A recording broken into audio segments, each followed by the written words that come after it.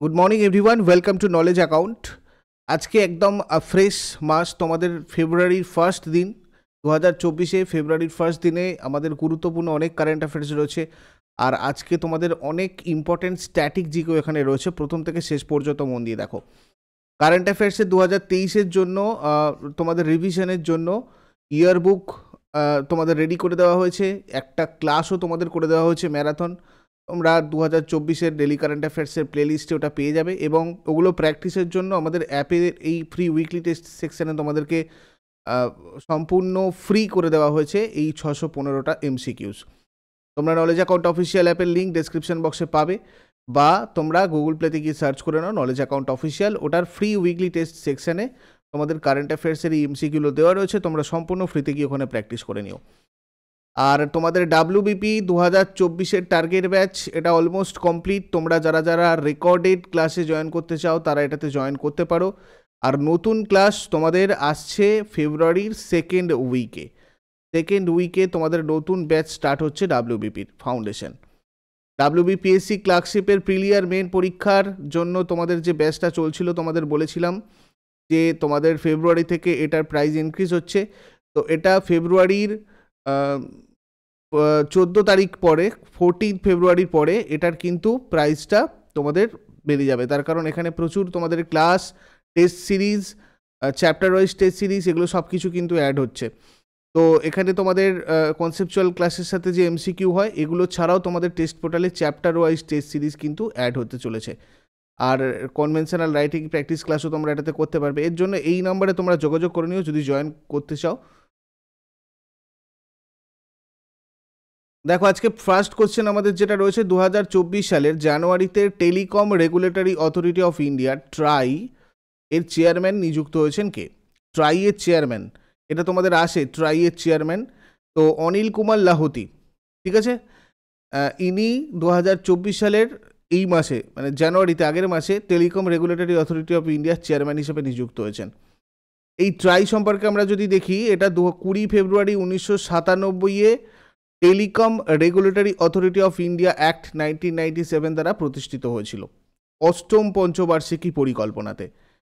এছাড়া অষ্টম পঞ্চবার্ষিকী পরিকল্পনাতে আরও যে যে জিনিসগুলো হয়েছিল সেটা হচ্ছে রাষ্ট্রীয় মহিলা কোষ প্রকল্প, নিয়োগ নিশ্চিতকরণ কর্মসূচি, ডিস্ট্রিক্ট রুরাল ডেভেলপমেন্ট এজেন্সি, মহিলা সমৃদ্ধি যোজনা, স্বর্ণজয়ন্তী শহরী রোজগার যোজনা, মধ্যাহ্ন ভোজন প্রকল্প বা মিড ডে মিল স্কিমটাও এই অষ্টম বর্ষ- পঞ্চবার্ষিকী পরিকল্পনাতেই স্টার্ট হয়েছিল।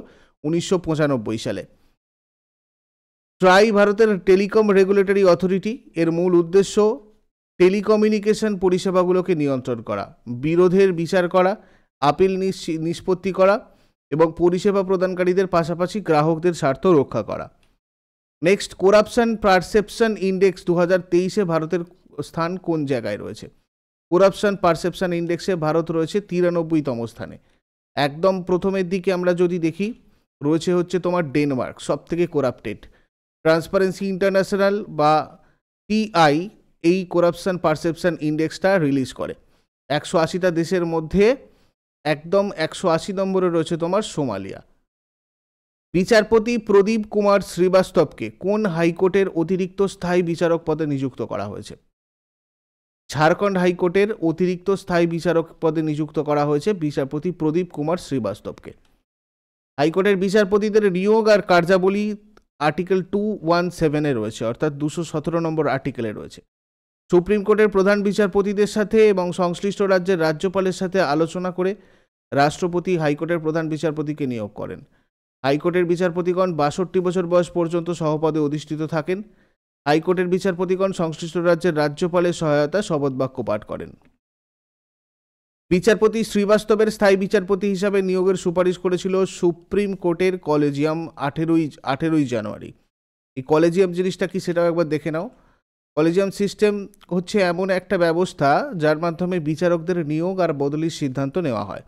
এতে ভারতের প্রধান বিচারপতি, সুপ্রিম কোর্টের চারজন সিনিয়র বিচারপতি থাকেন আর কলেজিয়াম হাইকোর্টের প্রধান বিচারপতি এবং বিচারকদের সুপ্রিম কোর্টে উন্নীত করে।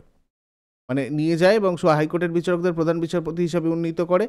বিচারকদের পদোন্নতি বিবেচনা করার জন্য এরাই দায়ী। কলেজিয়াম পদ্ধতি উনিশশো তিরানব্বই সালে গৃহীত হয়েছিল। আর বিচার ব্যবস্থায় গণতন্ত্র নিশ্চিত করার জন্যই এই উনিশশো তিরানব্বই সালে ভারতের সর্বোচ্চ আদালত কর্তৃক গৃহীত বিচারকদের নিয়োগের জন্য কলেজিয়াম ব্যবস্থা প্রতিষ্ঠিত হয়েছিল। নেক্সট, ওয়ার্ল্ড অ্যান্টি ডোপিং এজেন্সিতে দশ বছরের গ্লোবাল স্টাডি অনুযায়ী বিশ্বের সবথেকে খারাপ দেশ কোনটা? বিশ্বের সবথেকে খারাপ দেশ কোনটা হয়ে যাবে? রাশিয়া।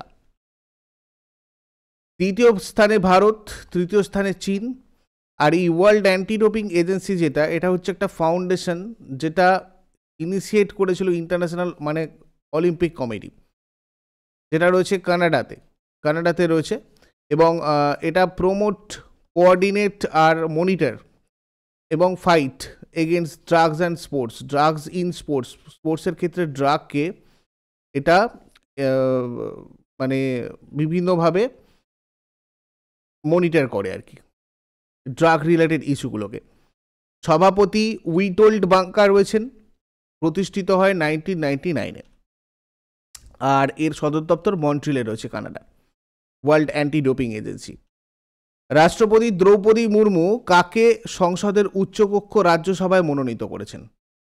দেখো, সতনাম সিং সান্ধুকে সংসদের উচ্চকক্ষ যেটা আমাদের রাজ্যসভায় মনোনীত করেছেন। রাষ্ট্রপতি দ্রৌপদী মুর্মু সনাতম সতনাম সিং সান্ধুকে উচ্চকক্ষ রাজ্যসভাতে মনোনীত করেছেন। আমাদের দু রকম কক্ষ হয়। একটা হচ্ছে তোমার লোকসভা, যেটাকে আমরা নিম্নকক্ষ বলে জানি, আর আর একটা হচ্ছে উচ্চকক্ষ রাজ্যসভা। রাজ্যসভা, লোকসভা এবং রাষ্ট্রপতি নিয়েই কিন্তু আমাদের সংসদ তৈরি। সতনাম সিং সান্ধু দু হাজার এক সালে মোহালিতে Chandigarh group of college CGC প্রতিষ্ঠা করেছিলেন। দু হাজার বারো সালে চণ্ডীগড় বিশ্ববিদ্যালয় প্রতিষ্ঠা করেছিলেন এই সতনাম সিং সান্ধু। দেখো, Rajya Sabha related most asked questions তোমাদের যেগুলো আসে, সবকটা এক জায়গায় দেখে নাও। রাজ্যসভার কাউন্সিল বা রাজ্যসভা নামেও পরিচিত যেটা, এটা হচ্ছে আমাদের ভারতের সংসদের উচ্চকক্ষ প্রথমত। রাজ্যসভার সদস্যগণ ছ বছরের জন্য নির্বাচিত হন। কক্ষের একের তিন অংশ সদস্য দু বছর অন্তর অবসর গ্রহণ করেন। আর আমরা যদি দেখি অর্থ বিল অর্থ বিল লোকসভায় পাশ হবার পর সেটা রাজ্যসভায় পাঠানো হয় চোদ্দ দিনের মধ্যে। রাজ্যসভা যদি কোনো মতামত না জানায়, তাহলে ধরে নেওয়া হয় যে বিলটা রাজ্যসভায় পাশ হয়ে গেছে। উপরাষ্ট্রপতি রাজ্যসভায় সভাপতিত্ব করেন। উপরাষ্ট্রপতি সংবিধান সংশোধনের ক্ষেত্রে রাজ্যসভা, লোকসভার ক্ষমতা সমান। কিসের ক্ষেত্রে? সংবিধান সংশোধনের ক্ষেত্রে। জরুরি অবস্থা অনুমোদনের ক্ষেত্রে লোকসভা, রাজ্যসভার ক্ষমতা সমান। রাষ্ট্রপতি, উপরাষ্ট্রপতি, সুপ্রিম কোর্ট আর হাইকোর্টের বিচারপতিগণ নিয়ন্ত্রক, মহাগণনা পরীক্ষকের অপসারণের ক্ষেত্রে লোকসভা, রাজ্যসভার ক্ষমতা সমান। সাধারণ বিল পাশের ক্ষেত্রেও কিন্তু রাজ্যসভা এবং লোকসভার সমান ক্ষমতার অধিকারী। নেক্সট। রাজ্যসভা একটা স্থায়ী সংস্থা এবং এতে মোট দুশো পঞ্চাশটা সদস্য নিয়ে এটা গঠিত, যার মধ্যে দুশো আটত্রিশটা সদস্য রাজ্য আর কেন্দ্রশাসিত অঞ্চলগুলোর প্রতিনিধিত্ব করে, বাকি বারো জন সদস্য রাষ্ট্রপতি কর্তৃক মনোনীত হন। আর ভারতীয় সংবিধানের চতুর্থ তপশিল অনুযায়ী, রাষ্ট্রপতি কলা, সাহিত্য, বিজ্ঞান এবং সামাজিক পরিষেবার ক্ষেত্রে তাদের অবদানের ভিত্তিতে ছয় বছরের মেয়াদের জন্য বারো জন সদস্যকে রাজ্যসভায় মনোনীত করেন। নেক্সট আমরা দেখব এনটিপিসি গ্রিন এনার্জি লিমিটেড মানে সবুজ হাইড্রোজেনের জন্য কোন রাজ্য সরকারের সাথে একটা চুক্তি স্বাক্ষর করেছে? এটা করেছে Maharashtra. NTPC green energy limited বার্ষিক ক্ষমতা এক মিলিয়ন টন পর্যন্ত সবুজ হাইড্রোজেন, সবুজ অ্যামোনিয়া এবং সবুজ মিথানল আর কি। এটা ডেভেলপমেন্টের জন্য মহারাষ্ট্র সরকারের সাথে একটা চুক্তি করেছে। যেটা আগামী পাঁচ বছরের জন্য করা হয়েছে এবং প্রায় আশি হাজার কোটি টাকা বিনিয়োগ করা হবে এর। অভিনয় জগতে বিশেষ অবদানের জন্য দু হাজার চব্বিশ সালে অভিনেতা মিঠুন চক্রবর্তী কোন পদসম্মানে সম্মানিত হয়েছেন? পদ্মভূষণ, ইনি হচ্ছেন একজন ভারতীয় অভিনেতা, প্রযোজক এবং রাজনীতিবিদ যিনি প্রধানত হিন্দি, বাংলা ভাষার চলচ্চিত্রে কাজ করেছেন। ইনি রাজ্যসভার প্রাক্তন সংসদ সদস্য। পদ্মভূষণ ভারতের তৃতীয় সর্বোচ্চ অসামরিক সম্মাননা উনিশশো চুয়ান্ন সালের সেকেন্ড জানুয়ারি ভারতের রাষ্ট্রপতি কর্তৃক এই পুরস্কার প্রবর্তিত হয়েছিল। আর অসামরিক সম্মাননাগুলোর মর্যাদাক্রম অনুযায়ী এই সম্মাননার স্থান ভারতরত্ন পদ্ম এবং পদ্মবিভূষণের পরে, কিন্তু পদ্মশ্রীর আগে। জাতির প্রতি বিশেষ অবদানের স্বীকৃতিস্বরূপ এই সম্মাননা প্রদান করা হয়। দু হাজার চব্বিশ সালে মোট সতেরো জন পেয়েছেন পদ্মভূষণ। ইনস্যাট থ্রি ডিএস নামের আবহাওয়া সংক্রান্ত স্যাটেলাইট লঞ্চ করেছে কোন মহাকাশ গবেষণা সংস্থা? এটা রিসেন্টলি ইসরো তোমার হচ্ছে লঞ্চ করেছে। আবহাওয়ার পূর্বাভাস এবং দুর্যোগের সতর্কতার জন্য ইসরো নতুন উপগ্রহ ইনস্যাট থ্রি ডি এস উৎক্ষেপণ করেছে। ভারতীয় মহাকাশ গবেষণার সংস্থা শ্রী হরিকোটা সতীশ ধাওয়ানের মহাকাশ কেন্দ্র থেকে জিএসএলভি এফ ফোরটিন রকেটের মাধ্যমে উৎক্ষেপণ করা হয়েছে। জলবায়ু বদলের প্রভাব কি পড়ছে মানে কীভাবে পড়ছে, বাস্তুতন্ত্রের প্রভাব কতটা, তার বিস্তারিত খবর দিতে পারবে এই স্যাটেলাইট। এবং ভূমিকম্প, সুনামি, আগ্নেয়গিরির বিস্ফোরণ বা ভূমিধসের পূর্বাভাসও এই স্যাটেলাইট দিতে পারবে। নেক্সট ভার্নি নামক মোবাইল অ্যাক্সেসরি কোম্পানির ব্র্যান্ড অ্যাম্বাসাডার হিসেবে কে নিযুক্ত হয়েছে? রবীন্দ্র জাদেজা। ভার্নি হচ্ছে national premium mobile accessories brand mobile accessories products Varni has started the year two thousand twenty four with an amazing association with cricketer Ravindra Jadeja as the face of their brand এটাই ছিল news সম্প্রতি প্রয়াত doctor নিত্য আনন্দ কে ছিলেন? নিত্য আনন্দ ইনি ছিলেন একজন গবেষক। মৃত্যুকালীন এনার বয়স হয়েছিল নিরানব্বই বছর আর ইনি প্রথম ওরাল গর্ভনিরোধক পিল সহেলি আবিষ্কার করেছিলেন। এটা একটা ইম্পর্টেন্ট তোমাদের জন্য জিকে। নিত্য আনন্দ ছিলেন একজন ভারতীয় ঔষধি রসায়নবিদ, যিনি উনিশশো চুয়াত্তর থেকে চুরাশি সাল পর্যন্ত লখনৌতে সেন্ট্রাল ড্রাগ রিসার্চ ইনস্টিটিউটের পরিচালক ছিলেন। সেন্ট্রাল ড্রাগ রিসার্চ ইনস্টিটিউট তাহলে কোথায় রয়েছে আমাদের? লখনৌতে রয়েছে। এর বৈজ্ঞানিক কমিটির দু হাজার বারো সালে তিনি ভারত সরকার কর্তৃক পদ্মশ্রী উপাধিতেও ভূষিত হয়েছিলেন। এরপরে আগের দিনের হোমওয়ার্কগুলো সবাই মিলিয়ে নাও। মৃগাবুনি ন্যাশনাল পার্ক কোন রাজ্যে রয়েছে? এর উত্তর হয়ে যাবে তেলেঙ্গানা। মনোহর পারিক্কর, কত সালে মরণোত্তর পদ্মভূষণ পুরস্কার পান? দু হাজার কুড়ি সালে। আর আজকে তোমাদের জন্য কোয়েশ্চেন্স থাকবে, কোথায় ভগবান বুদ্ধদেব তার শেষ নিঃশ্বাস ত্যাগ করেছিলেন? বা মহাপরিনির্বাণ কোথায় হয়েছিল? বুদ্ধ কোন বংশজাত ছিলেন? এই দুটো প্রশ্নের উত্তর আজকে তোমরা আমাকে কমেন্ট বক্সে জানিও। চট করে আগের দিনেরগুলো কুইক রিভাইজ করে নেব। যারা যারা লাইভে রয়েছে অ্যান্সার করার চেষ্টা করো। থার্টি ফার্স্ট জানুয়ারি দু হাজার চব্বিশে আমাদের কী কী প্রশ্ন ছিল দেখো। দু হাজার চব্বিশ ফিল্মফেয়ার পুরস্কারে সেরা অভিনেতার পুরস্কার পেয়েছেন কে? রণবীর কাপুর। দু হাজার চব্বিশ ফিল্মফেয়ার পুরস্কারে সেরা অভিনেত্রীর পুরস্কার কে পেয়েছেন? আলিয়া ভাট। দু হাজার চব্বিশ ফিল্মফেয়ার পুরস্কারে সেরা পরিচালকের পুরস্কার কে পেয়েছেন? বিধু বিনোদ চোপড়া। দু হাজার চব্বিশ ফিল্মফেয়ার পুরস্কারে সেরা সিনেমার পুরস্কার কে পেয়েছেন? Twelve fail. প্রথম এফআইএইচ হকি ফাইভ এস মহিলা বিশ্বকাপ কোথায় অনুষ্ঠিত হলো? মাস্কাট, ওমানের মাস্কাটে। উত্তরপ্রদেশ সরকার কোন মহিলা ক্রিকেটারকে উত্তরপ্রদেশ পুলিশের ডিএসপি পদে নিযুক্ত করেছে? দীপ্তি শর্মা। কোন রাজ্য সরকার সম্প্রতি রোড সেফটি ফোর্স চালু করল?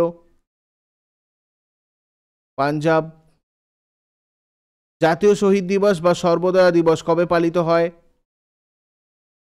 থার্টিথ জানুয়ারি আমেরিকার প্রথম কোন স্টেট হিসাবে একজন জেলবন্দিকে নাইট্রোজেনের মাধ্যমে মৃত্যুদণ্ড দেওয়া হচ্ছে? আলবামা। টাটা, কার সাথে ভারতের প্রথম ব্যক্তিগত হেলিকপ্টার সমাবেশ? Line. Private helicopter assembly line স্থাপনের জন্য একটা চুক্তি স্বাক্ষর করেছে। এয়ারবাস। দু হাজার তেইশ সালে বিশ্ব কুষ্ঠ দিবস কবে পালিত হলো? Thirtieth January. এগুলো ছিল তোমাদের আগের দিনের কোয়েশ্চেন্স ইউজফুল বলে মনে হলে অবশ্যই সবাই লাইক করো, বন্ধুদের সাথে শেয়ার করো আর সাবস্ক্রাইব করে নাও যারা নতুন রয়েছে। তার সাথে সাথে বেল আইকন প্রেস করে অল নোটিফিকেশানে ক্লিক করে নাও। যাতে প্রতিদিন সকাল ছটার সময় ডেলি কারেন্ট অ্যাফেয়ার্সের আপডেট তোমাদের ঠিকঠাকভাবে নোটিফিকেশান আসে। আর আমাকে অবশ্যই কমেন্ট বক্সে তোমাদের মতামত জানাতে ভুলবে না, যার জন্য যাতে করে আমরা আরও বেটার তোমাদের জন্য এই সেশনটা করতে পারি। Thank you so much next ক্লাসে আবার সবার সাথে কথা হচ্ছে। Have a great day